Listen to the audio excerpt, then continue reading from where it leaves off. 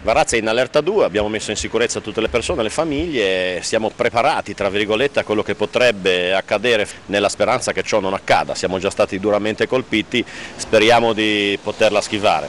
Sì, noi abbiamo attivato come da protocollo della protezione civile il comitato congiunto comunale dove sono presenti volontari, eh, protezione civile, Croce Rossa. In questo momento la situazione abbiamo provveduto ad evacuare eh, alcune famiglie che hanno avuto già problemi l'anno scorso e sono alloggiate presso la locale Croce Rossa e c'è la possibilità che altri vengano investiti da questi provvedimenti vista la situazione che al momento però non presenta grossi problemi.